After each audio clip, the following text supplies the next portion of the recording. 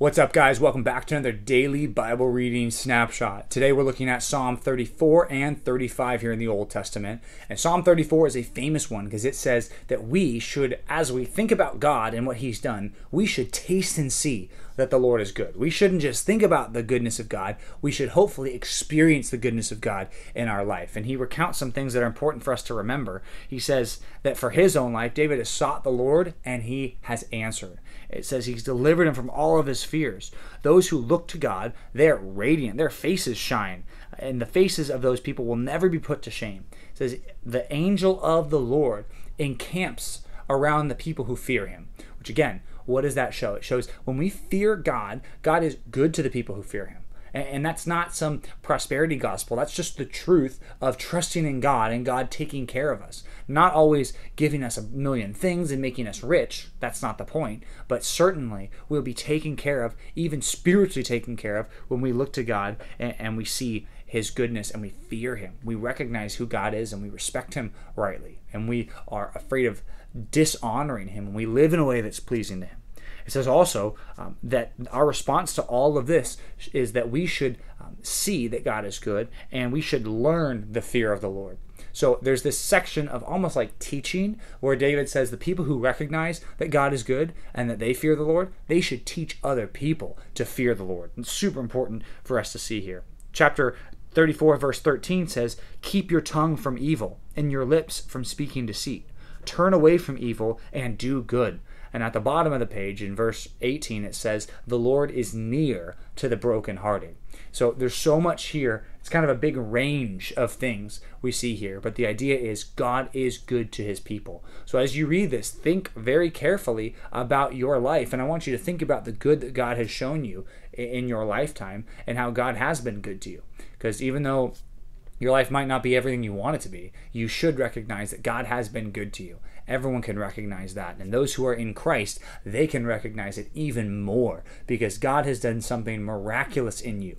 If you're in Christ, God has saved you from the penalty of your sin.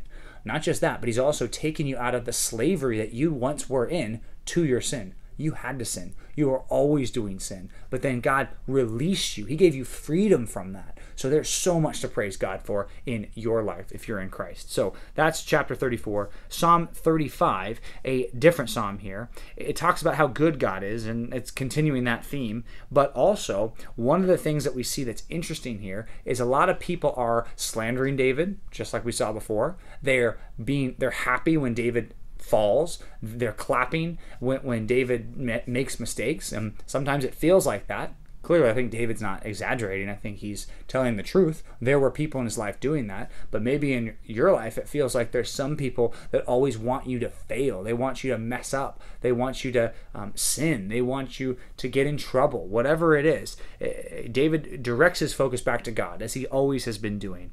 But something interesting here, um, he asks for vindication in verse 24, which I think is the big idea here. But he also says, Let those who delight in my righteousness shout for joy and be glad, and say evermore. This is what I want people to say if they see my righteous behavior. I want them to say, Great is the Lord, who delights in the welfare of his servant. Then my tongue shall tell of your righteousness and your praise all the day long. Now, David says, I want to be righteous, but I want everyone who sees my righteousness, I don't want them to say, Great is David. David is a great guy. David's a righteous guy. His response is, I want them to say, God is good. God is great. Um, great is the Lord who delights in the welfare of his servants. He wants people to look at his life and praise God. I want that to be a thing that you think. When people see your life, I want you to make it a, a, point to point people to praise God for the good in your life. Because a lot of other people uh, might not look at your life and say, wow, God has been good to you. They might say, you're a very lucky person. Um, you're lucky you were born in that family. You have a good education. Your upbringing was good, or whatever they say. You're, you're talented at this, or talented at that, or you're musical, or you're artistic, and that's just whatever. That's just the amazing gifts that you have. Well, I want you to direct their praise to God for those things and say, yeah, that's because God is. God's been good to me, but it's because He's good, not because I'm good. So that's our Old Testament reading today. Hopefully, you can think through that pretty deeply as you read those passages.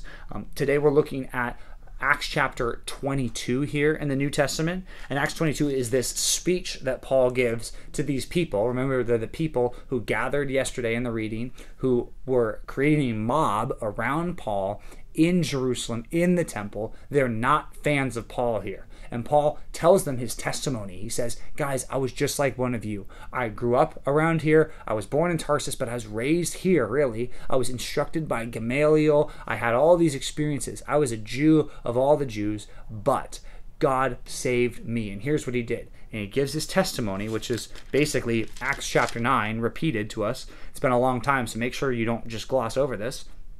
Then what we'll see is the Jews got angry at this when he started pointing it towards them, because that's really what he does here. Um, he says um, at the towards the end of the testimony that Paul gives of his own life here, he says, There came a point where God said to me in a vision, You need to go to the Gentiles and preach to them because the Jews are not listening. And guess what the Jews said at that point? They got angry right there because it turned from this story about Saul Saul's life, right? Paul turned from that story to their story. And that's when they didn't like it. And it's just interesting the pattern we see here. We should be good at telling other people the testimony of how God saved us. So if you've never told someone your testimony or never even thought it through, I'd encourage you think that through. How did God save you? Now, when you use that in conversations of evangelism, make sure you use it, but make sure you get to the point of, well, what are you going to do about this? So a testimony is good because it gets us in the door, so to speak, of evangelism with a lot of people, but it's not the gospel. You need to present the gospel to them as well. And that's what Paul starts to do. And once he starts to do that, they get mad and they don't want to listen. So, again, use your testimony for the good of evangelism. Use it. Um, sh- tell people how God has saved you and tell them they need to be saved as well. So that's a helpful thing to think through. If you never thought it through, make sure you think it through today. So we'll see you back tomorrow for another daily Bible reading snapshot.